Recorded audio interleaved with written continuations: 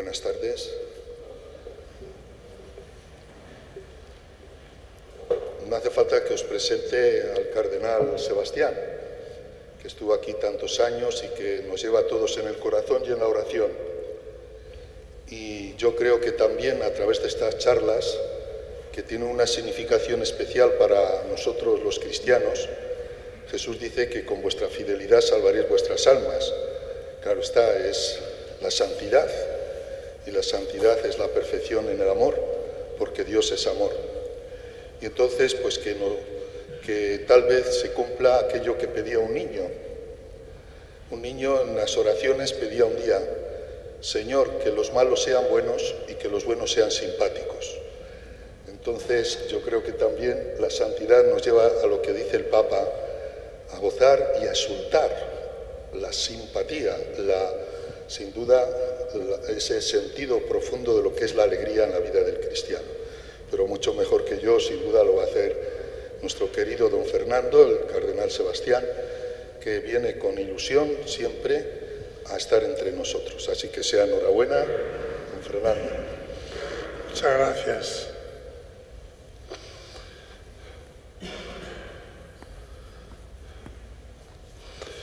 Buenas noches para todos. Ya va siendo casi una rutina el venir cada otoño a pasar unos días en Pamplona y a verme y a explayarme un poco con vosotros en algún tema espiritual. Esta vez vamos a comentar la encíclica del Papa Gaudete et Exultate es, creo, el quinto documento, así de cierta importancia, que promulga el Papa Francisco. Y en todos ellos el Papa resalta el tema de la alegría. Dios quiere que, que vivamos alegres, que vivamos contentos de la vida, la vida es un festín, la vida es un banquete, la vida es una, una sinfonía. Cuando la vivimos bien, cuando la vivimos de acuerdo con la verdad de Dios, con la sabiduría de Dios. Por eso es tan importante el tema de la santidad. En la iglesia tenemos que hacer muchas cosas. Tenemos la catequesis, tenemos que preparar los matrimonios, atender a los pobres, eh, cuidar a los enfermos, tenemos que hacer muchas cosas. Pero hay un mandamiento central que unifica toda la realidad de la Iglesia y que orienta la vida, la vida personal, la vida familiar, la vida comunitaria, la vida de la humanidad entera. Amarás al Señor tu Dios con todo tu corazón, con toda tu alma, con todas tus fuerzas. Amar a Dios es la verdad profunda de nuestra vida, lo que nos hace realmente humanos. En la vida social, en la vida política, se habla mucho de derechos humanos, de promover la dignidad de los hombres, que cada uno entiende a su manera. Pero la doctrina cristiana, la fe cristiana, nos dice que el derecho primordial, la gran dignidad,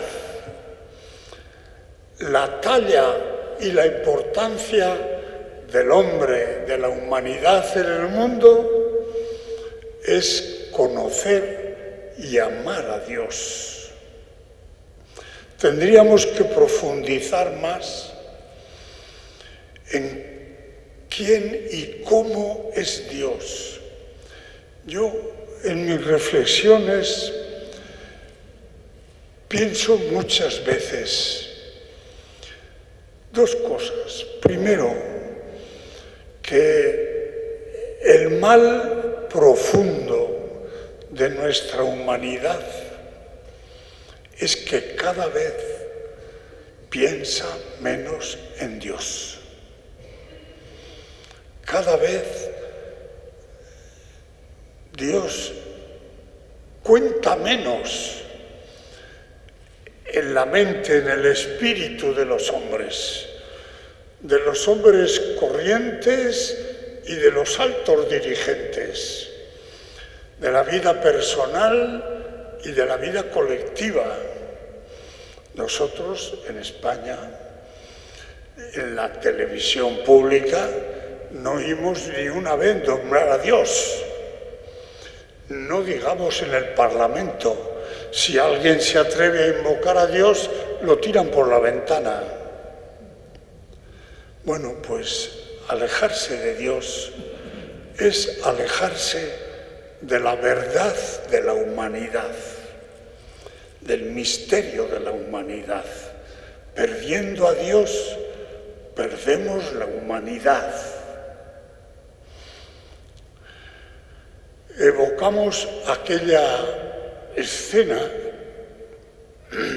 que leíamos en el Evangelio del domingo pasado.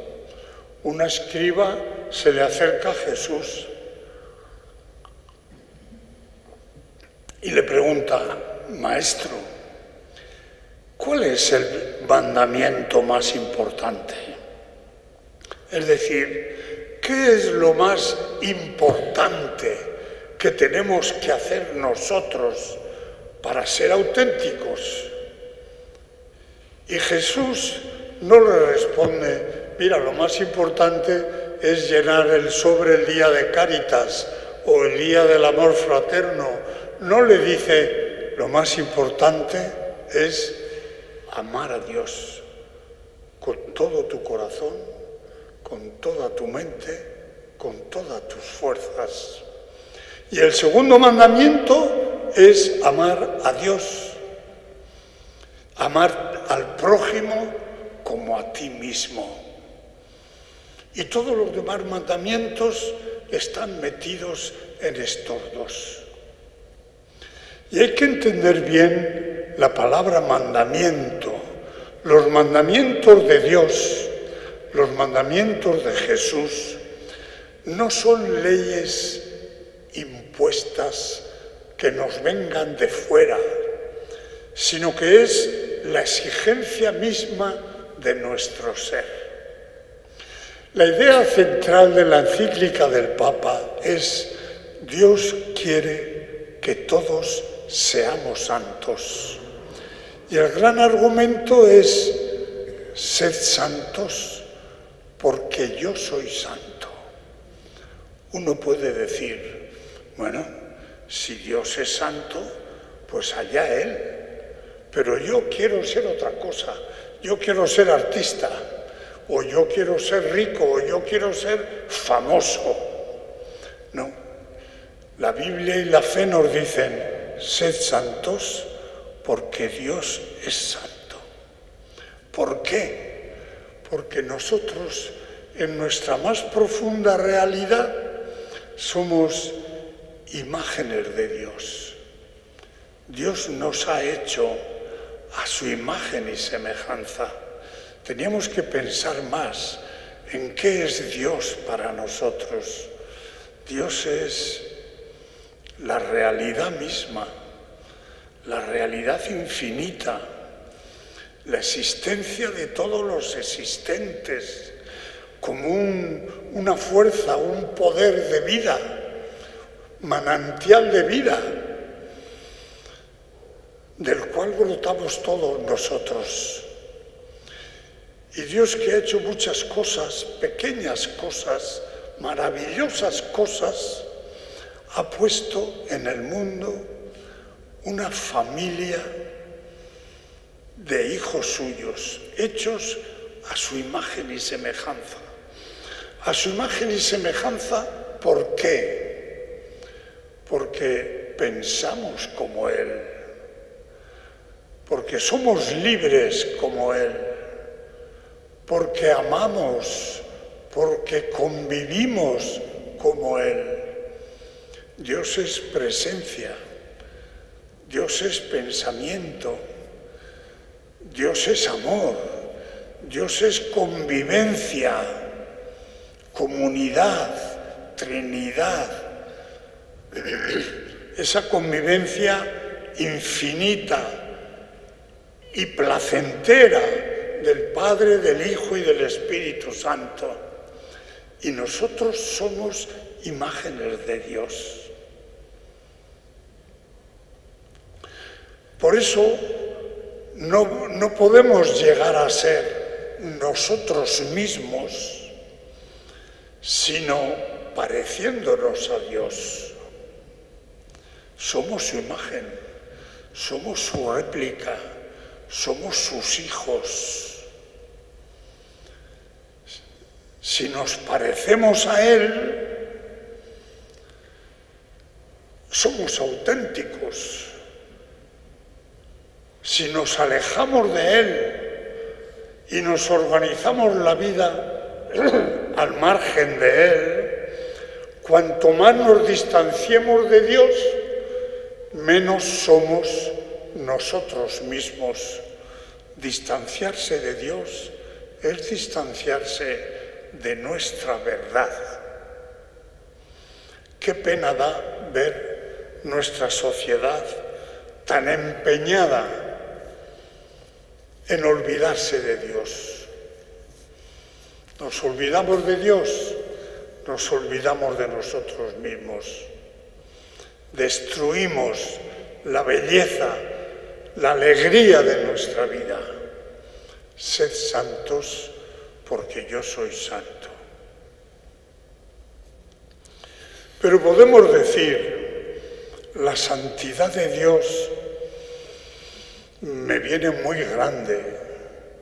¿Cómo podemos asomarnos a la realidad de Dios?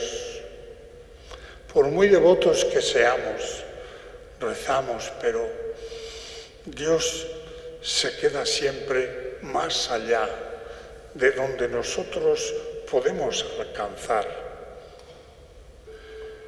Eso que lo vemos nosotros lo vio mucho mejor Dios. Y por eso nos envió a su Hijo, el Dios creador, misterioso, inasequible, pero seductor. Nos creó por amor. Dios podía haberse quedado solo no tenía ninguna necesidad de nosotros.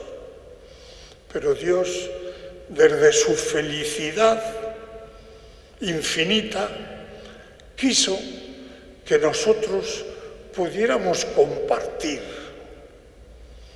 con Él su propia vida, su propia felicidad. Dios nos creó por amor de lo cual el, Papa en su encíclica deduce dos cosas. Nos creó por amor y por eso nunca se olvida de nosotros. Dios sabe, como sabéis las madres que tenéis un niño jugando en la, en la habitación de al lado, Dios sabe que tiene millones de hijos en la tierra que somos nacidos de su corazón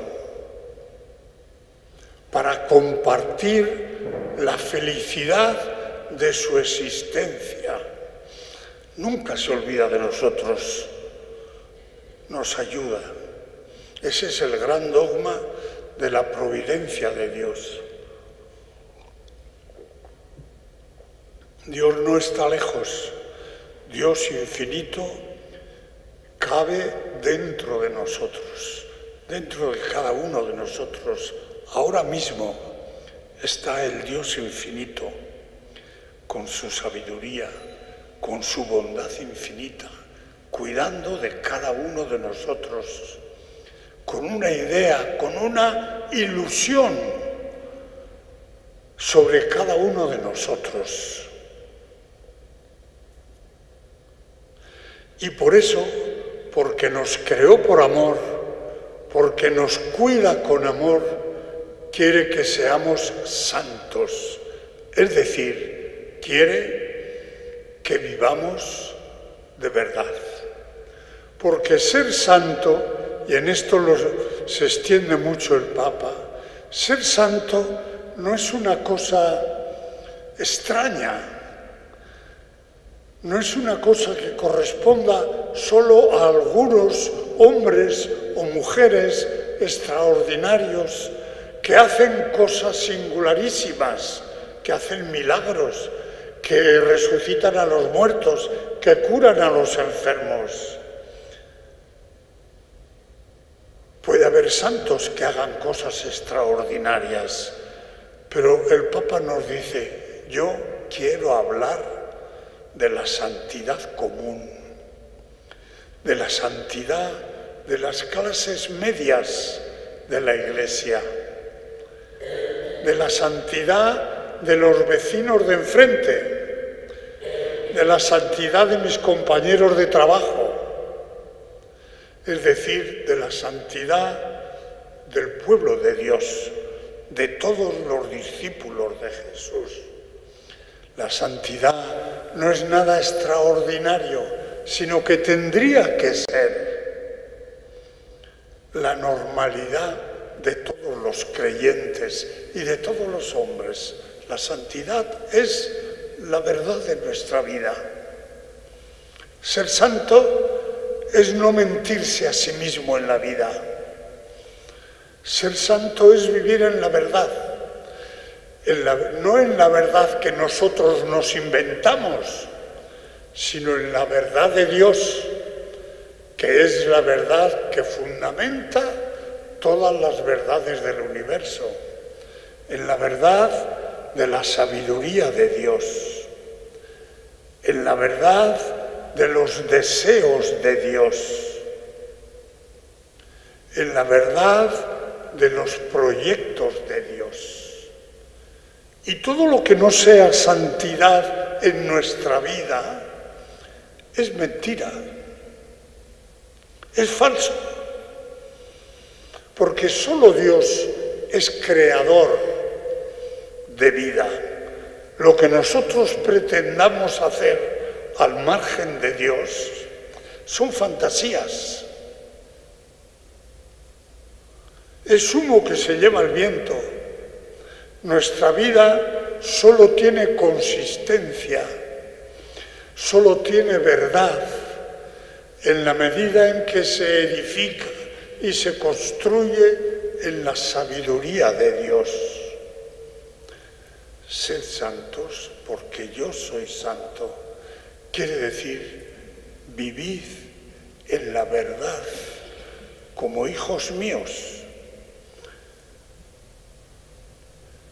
Estaba diciendo que esta santidad de Dios puede parecernos un poco grande, es un traje demasiado grande para nosotros, pero Jesús, Dios ya ha previsto eso y nos ha enviado a Jesús, el hombre perfecto, el hombre hecho a imagen y semejanza de Dios Dios ha querido hacer la humanidad a su imagen y semejanza. Y en muchos casos ha podido fracasar, pero hay un, caso en el cual el proyecto de Dios se ha realizado perfectamente, cabalmente. Es Jesús, el hombre según Dios, el hombre que ha vivido en un tú a tú filial con Dios, Padre en todos los momentos y en todas las circunstancias de su vida. Si, nos preguntamos cómo es la santidad de Dios, no hace falta asomarse al cielo, al otro lado de este mundo, para ver cómo es Dios. ¿Cómo es Dios? Lo vemos en Jesús.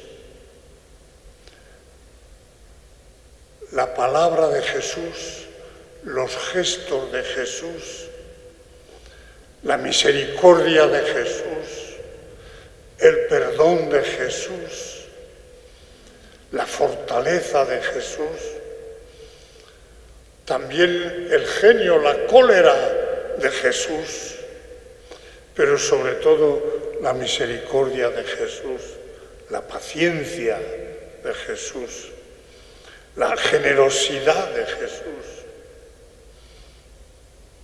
Hay mil escenas en el Evangelio en donde podemos admirar la humanidad santa de Jesús, la manera de ser hombre y de andar por el mundo y de tratar a la gente que tiene Jesús. Jesús es el modelo de nuestra santidad. Y así en el capítulo tercero de la encíclica, el Papa nos propone como una exposición de la santidad cristiana recorriendo las bienaventuranzas. Yo os invito a leer el Sermón de la Montaña entero. Empieza con las bienaventuranzas pero el Sermón de la Montaña es un hermoso resumen de toda la doctrina de Jesús sobre nuestra vida y de alguna manera es un retrato del propio Jesús.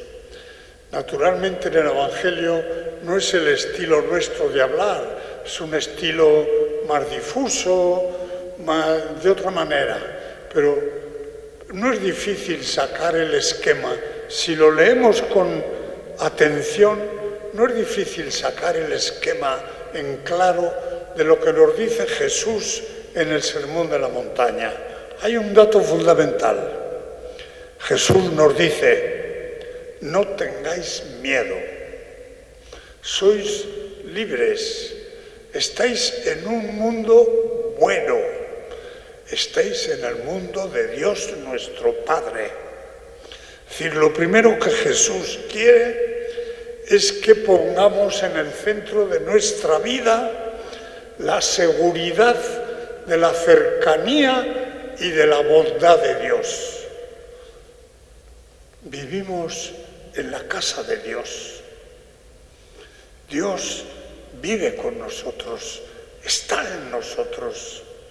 No tenemos por qué tener angustia, al revés tenemos que vivir confiando en la bondad del Dios que está con nosotros, el Dios creador, el Dios omnipotente, está con nosotros, nos ama, nos conoce, nos quiere, cuida de nosotros.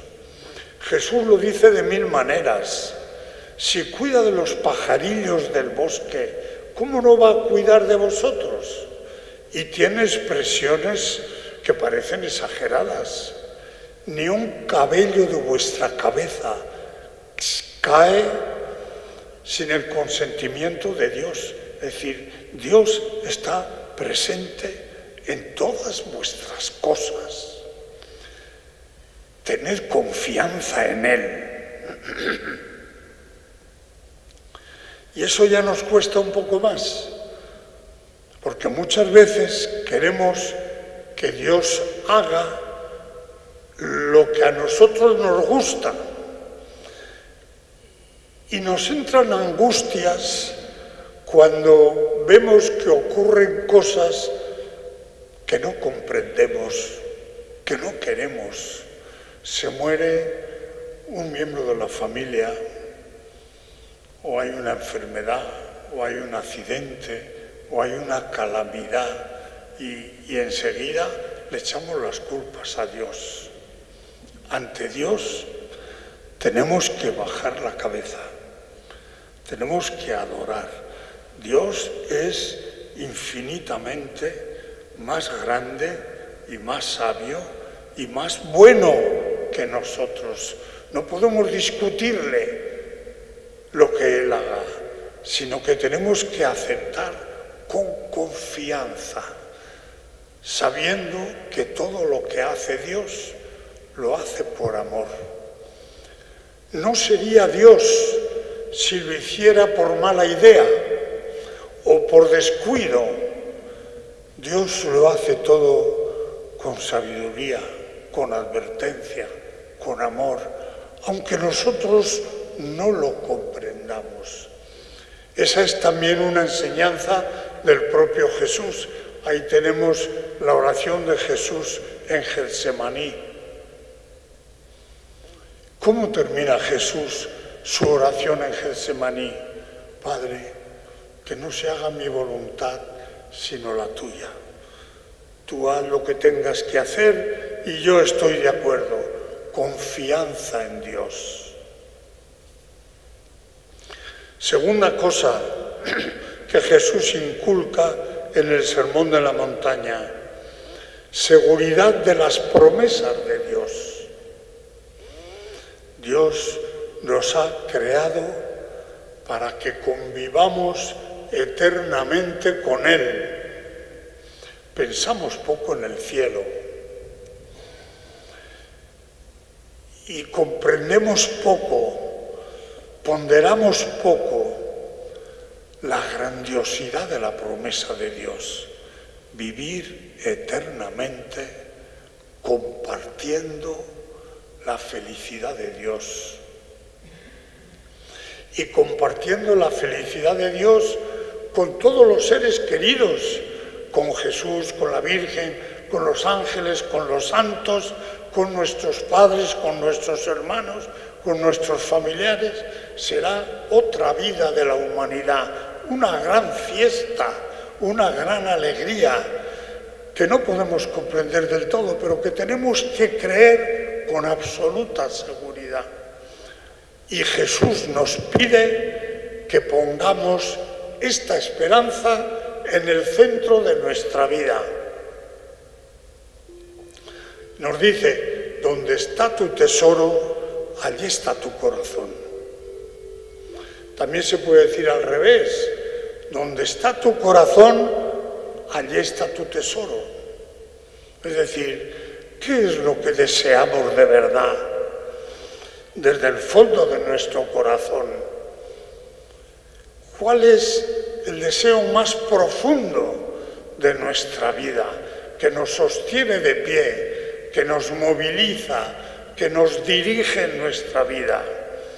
¿Es el deseo de la vida eterna o es el deseo, deseos de este mundo? En definitiva, deseos pequeños, todos pequeños. Dinero, tener una casa en la playa o una casa no sé qué, un viaje, un capricho, pequeños deseos que nos entretienen. Y muchas veces nos tapan la realidad, la gran esperanza y el gran deseo de la vida eterna. Es como si un padre le compra a su hijo el último modelo del mejor coche y el hijo se entretiene comprándose unas zapatillas de marca.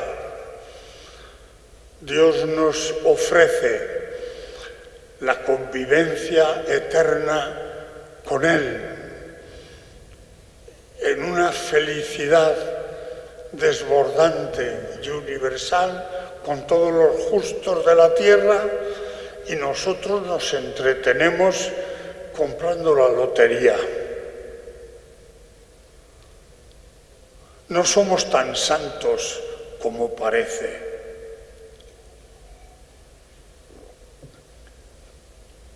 Primera cosa, confianza en Dios. Segunda cosa, presente en el sermón de la montaña deseo de la vida eterna.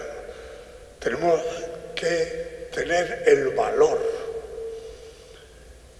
de desear expresamente vivir eternamente con Dios. Y si logramos centrar nuestro corazón en el deseo de la vida eterna, surge inmediatamente el tercer punto del Sermón de la Montaña, desprendimiento de las cosas de la tierra. No acumuléis grandes tesoros que se han de quedar aquí abajo. Jesús pone tantas parábolas. Descansa, alma mía, ya tienes de todo.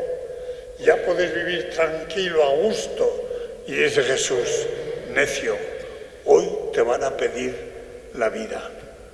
Es decir, todo lo de este mundo es efímero, es relativo, es importante, necesitamos, necesitamos tener trabajo, necesitamos tener una casa, necesitamos vestirnos, alimentar, necesitamos las cosas de este mundo para vivir, pero con sobriedad, sin ansia, sin exagerar.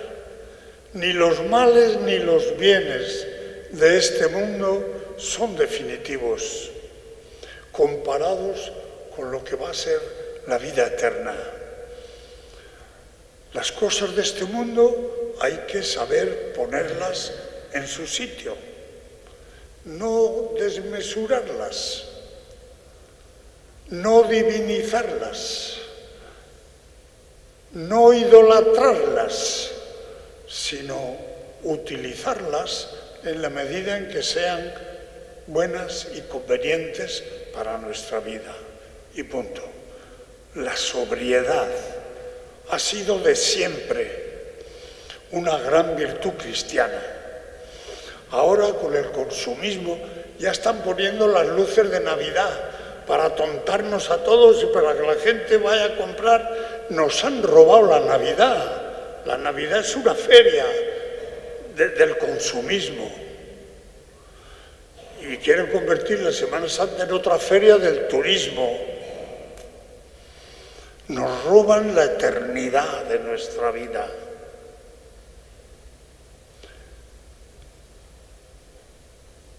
Amar y admirar y disfrutar de las cosas de este mundo, pero sin adorarlas, sin idolatrarlas, sin entregarles la vida, porque no se lo merecen. Y cuarta cosa, si confiamos en Dios, si deseamos de verdad la vida eterna, si nos liberamos de la esclavitud de este mundo, ¿en qué vamos a ocupar nuestro tiempo? En hacer el bien, hacer obras de misericordia, mientras esperamos la gloriosa venida de nuestro Señor Jesús, de nuestro Salvador Jesucristo. Aquí no hay estación definitiva, esto dura lo que dure, mientras estamos aquí, mientras esperamos la venida de nuestro Salvador o la llamada del Señor, aprovechemos el tiempo para hacer obras buenas, obras de misericordia, obras de misericordia espirituales y obras de misericordia corporales, cada uno lo mejor que pueda, cada uno de la mejor manera que pueda. Antes de dejar el tema de las bienaventuranzas, bueno, yo estaba explicando el contenido esquemático del sermón de la montaña. Si lo leéis despacio, veréis como todo el sermón de la montaña, todo lo que dice Jesús, se sintetiza en estas cuatro cosas. Confiad en Dios, que es vuestro Padre. Poned el corazón en la vida eterna, que es la vida verdadera, que es el tesoro que hay que descubrir y por el que hay que dejar todas las demás cosas? No os dejéis dominar por las cosas de este mundo. Y cuarto, sed misericordiosos, como vuestro Padre es misericordioso. No améis solo a los amigos, también a los enemigos. No invitéis solo a los que os pueden invitar. Invitad a los pobres, a los que no os pueden invitar a los que no os pueden devolver. Es decir, situaros en una actitud de hacer el bien generosamente, sin esperar recompensa en este mundo. Vuestra recompensa os la darán el día del juicio. Y ese mismo esquema está en las bienaventuranzas. Si las leéis con atención veréis que las bienaventuranzas no son, como a veces se presentan, un catálogo de virtudes, sino que son la descripción de la conducta de aquel que ha puesto su esperanza en la bendición de Dios. Bienaventurados los pobres de espíritu, no dice porque les caerá la lotería o porque siempre estarán sanos o porque les irá bien en su negocio. Bienaventurados los pobres de espíritu, porque verán a Dios. Bienaventurados los mansos, porque poseerán la tierra, pero siempre el futuro. Bienaventurados los que lloran, porque serán consolados. Bienaventurados los que tienen hambre y sed de justicia, porque se verán hartos. Bienaventurados los misericordiosos, porque alcanzarán misericordia. Bienaventurados los limpios de corazón, porque verán a Dios. Bienaventurados los que trabajan por la paz. Bienaventurados los perseguidos por la justicia. Es decir, bienaventurados los que viven en este mundo esperando la bendición futura de Dios. Es decir, la santidad cristiana consiste, es muy sencillo, pero Hacen falta muchos años para entenderlo y para vivirlo de verdad. Consiste en poner en primera línea a Dios y a la vida eterna. Y en segunda línea todas las demás cosas. Si lo pensáis bien, nuestra vida es al revés. Tenemos en primera línea las preocupaciones de casa, de la familia, del trabajo o de la política, ponemos en primera línea.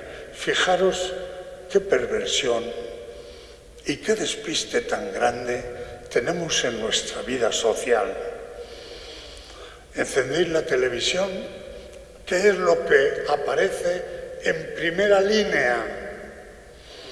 Pues unas veces el fútbol, otras veces un accidente, otras veces lo que ha dicho el Tribunal Supremo, lo que ha dicho el de Podemos, lo que ha dicho Puigdemont, cosas de este mundo que no tienen por qué ocupar tanto tiempo y tanto interés en nuestra vida. ¿Habéis oído alguna vez que pongan como importante una palabra de Jesús? ¿Una promesa de Dios? Bueno, pues la santidad cristiana es dar el vuelco a esta situación. En nuestra vida lo primero es estar a buenas con Dios, estar cerca de Él, sentirle, confiar en su sabiduría y en su bondad Y si Dios nos resulta un poco lejano, Jesús es nuestro Dios.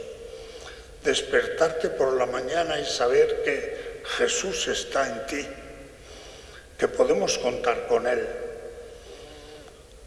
que lo tenemos marcándonos el camino de la vida desde que ponemos el pie en el suelo en el primer momento de la mañana. Ese es el esquema, la situación cristiana. Hay muchos textos del Evangelio y de los apóstoles, sobre todo de San Pablo, que comentan esta situación. San Pablo nos dice, hemos sido recreados por Dios en Cristo Jesús. Los cristianos en el bautismo, la confirmación, por la Eucaristía, somos recreados en Cristo Jesús. Es decir, Dios rehace nuestra existencia como la de Jesús. ¿Y cómo es la existencia de Jesús? es una comunicación permanente y filial con el Dios del cielo. Padre, yo sé que siempre me oyes. Yo nunca estoy solo porque tú estás conmigo. Padre, yo hago siempre lo, yo sé que siempre me escuchas. El Padre y yo somos una misma cosa. Primera realidad de la santidad cristiana, convivir filialmente con el Dios del cielo, como Jesús. Sabiendo que Jesús habita en nuestros corazones.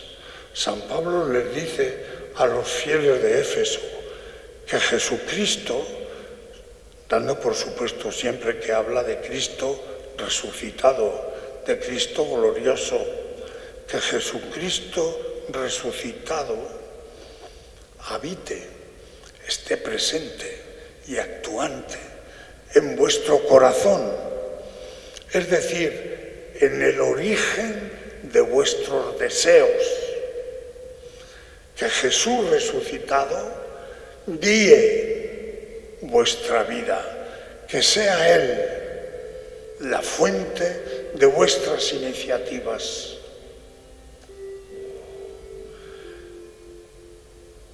Renovaos en la mente y vivid en la nueva condición humana a imagen de Dios creada en Cristo Jesús. Hay dos épocas en la humanidad, como dos niveles de humanidad un nivel que viene de Adán, un nivel de humanidad dominado por los intereses de este mundo. Y hay otro nivel, otra forma de vivir, que no se deja dominar por las cosas de este mundo, sino que está centrado en la vida de la resurrección. Atraído, dice Pablo, yo voy hacia Dios que me llama desde más allá de esta vida en Cristo Jesús. Tened los sentimientos de Dios. En el Evangelio se nos dice, sed misericordiosos como Dios es misericordioso. Pablo dice, tened los sentimientos de Dios. ¿Cuáles son los sentimientos de Dios?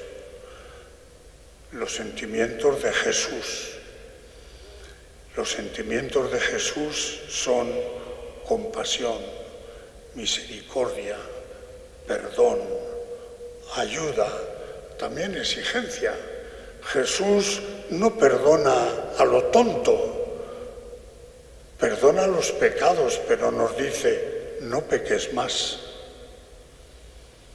Jesús es misericordioso, pero también es exigente, porque es serio, porque es verdadero, porque nos quiere de verdad y por eso quiere que vivamos con Él y como Él.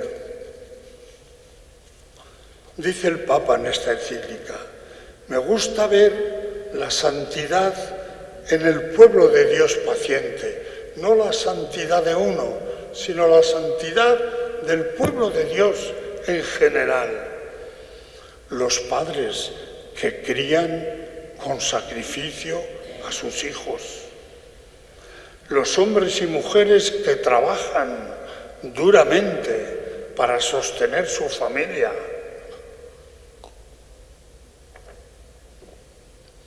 Los enfermos que sufren con paciencia su enfermedad y sus limitaciones.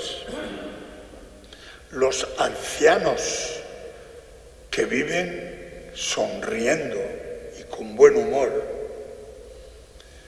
En esta constancia para seguir adelante día a día veo la santidad de la Iglesia, la santidad del pueblo de Dios empujada, sostenida desde dentro por el Espíritu de Dios. Esa es muchas veces, dice el Papa, la santidad de la puerta de al lado. Podemos estar conviviendo con verdaderos santos que confían en Dios, que se sacrifican por los demás, sin hacer cosas extraordinarias, pero sí haciendo con un amor extraordinario las cosas ordinarias de cada día. Esa es la santidad. No hacer cosas raras, sino hacer con amor extraordinario las cosas ordinarias de cada día. El trabajo de la casa, el trabajo del negocio, de la fábrica, de la tienda, la relación con los vecinos, el trabajo, la colaboración en la parroquia, hacerlo con dedicación, hacerlo con generosidad, hacerlo con alegría, porque estamos en todo lo bueno que hacemos, estamos anticipando el reino de Dios. Para ser santos no es necesario ser obispo, a veces es estorbo porque tenemos muchas complicaciones, ¿verdad, Padre Obispo? Para ser santos no es necesario ser obispos, ni sacerdotes, ni religiosas. Basta ser creyente, basta ser hijo de Dios. Tenemos razones para ser santos por ser criaturas de Dios, no por ser obispos o por ser monjes, por ser criaturas de Dios. Muchas veces tenemos la tentación de pensar que la santidad está reservada a quienes tienen la posibilidad de tomar distancia de las cosas ordinarias para dedicar mucho tiempo a la oración, como puedan ser los monjes de la Oliva o de Leri. La santidad no está reservada para nadie, la santidad es la vocación de Dios. A veces se dice que no hay vocaciones ahora. Yo digo, Dios es vocación. Dios es llamada. Dios es llamada a la santidad, al encuentro, a vivir como Él, al ser misericordiosos como Él es misericordioso. La religión, el cristianismo es todo llamada, todo vocación, porque Dios nos llama desde más allá de nosotros. Jesús nos llama desde más allá de nosotros. Sé santo amando y ocupándote de tu marido o de tu esposa o de tus hijos, como Cristo lo hizo con la iglesia. Sé santo cumpliendo con honradez y competencia tu trabajo al servicio de los demás. Sé santo enseñando con paciencia a los niños, a los jóvenes, a vivir con Jesús. Sé santo luchando por la justicia, por el bien común, por la honestidad de la vida pública.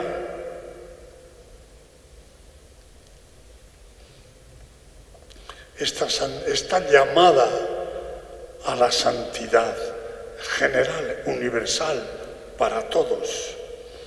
Es la misma para todos. No hay una santidad distinta para los obispos y para los civiles. No hay una santidad distinta para los casados y para los solteros. No hay una santidad distinta para los hombres y las mujeres, para los jóvenes y los ancianos. La santidad es Dios. La santidad es la convivencia con Dios. La santidad es la comunión con Jesús. Es el aprendizaje permanente de Jesús. La santidad es para todos la misma. Pero no es siempre la misma. La santidad no es aburrida, porque la santidad, a la vez que es la misma para todos, es distinta para cada uno. Cada uno tiene que vivir el amor y la bondad de Jesús en sus circunstancias concretas. Los casados lo tenéis que vivir en vuestra relación de matrimonio, en el día a día de la casa, en la educación de los hijos, en, la ayuda permanente de los trabajos comunes que hay que llevar adelante, en la generosidad con los vecinos, cada cual en su contexto. No podéis vivir la santidad lo mismo un matrimonio que un monje de Leire. Vivís en distintas circunstancias. O yo que vivo como un monje de Leire en mi casa de Málaga, tengo que vivir la imitación, mi relación, mi comunión viviente con Jesús en mi circunstancia concreta.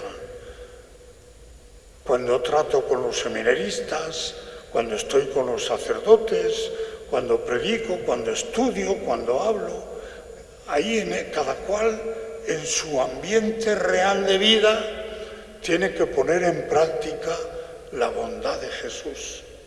Tiene que sentirse habitado por Jesús, guiado por Jesús, santificado por el Espíritu de Jesús. Pero no solo es distinta la santidad de cada persona según su circunstancia, sino que es distinta la santidad en cada época de la vida. Un joven tiene que ser santo en sus proyectos, en su generosidad, en su esfuerzo por formarse, por estudiar, por prepararse para ser una persona de bien. Un adulto tiene que ser santo en el cumplimiento de sus obligaciones. Los ancianos tenemos que ser santos en la aceptación de nuestras limitaciones sin ponernos de mal humor, alegrándonos de que otros crezcan cuando nosotros disminuimos y tenemos que pasar a segunda fila. Hay mucha gente que en la jubilación se amarga. Eso no es virtuoso. La jubilación es otra época que requiere que vivamos el amor de Dios y la generosidad de Dios de otra manera, sin protagonismos, sin esplendores, haciendo el bien que podamos en nuestra vida, siempre con alegría y con gratitud. Bien, es hora ya de terminar. Y terminamos con esta reflexión. Podemos imaginar lo que sería una iglesia en donde los bautizados viviéramos de verdad esta llamada de Dios a la santidad. Una iglesia donde los cristianos, empezando por los adultos, está muy bien que nos ocupemos de los jóvenes, pero los jóvenes van siempre por, donde han ido los adultos, los matrimonios, los padres de familia, los abuelos, los industriales, los comerciantes, los políticos, casi todos bautizados, aunque no nombren a Dios. ¿Qué sociedad tan diferente sería? Primero la iglesia y luego la sociedad entera. Si viviéramos un poco más seriamente y, con más coherencia nuestra vocación de hijos de Dios. Quizás la iglesia sería más reducida, pero sería más iluminadora. Tendría una capacidad de influencia más grande en la sociedad si todos los cristianos o los que nos llamamos cristianos viviéramos con más coherencia la llamada de Dios a la santidad. ¿Cómo sería nuestra sociedad si los cristianos viviéramos solo medianamente la invitación de Jesús a la fraternidad?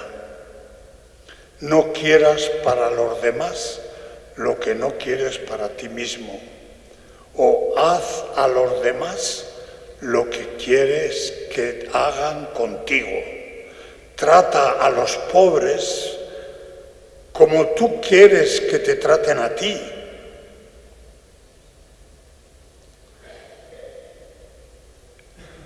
Trata a los enemigos políticos. Estos días hemos visto conflictos, insultos, desautorizaciones la vida social, la vida económica, la vida política cambiaría radicalmente si todos los cristianos la viviéramos con auténticas actitudes cristianas de verdad, de desprendimiento, de amor fraterno. Y termino con esa anécdota que cuentan de la Madre Teresa de Calcuta, que le preguntaron, Madre Teresa, ¿usted qué cambiaría en la iglesia?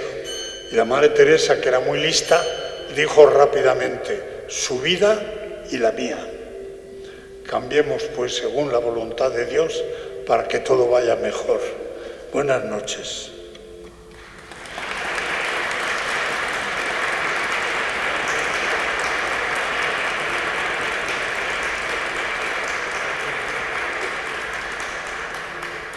Muchas gracias, don Fernando. Mucha tarea nos pone usted por delante.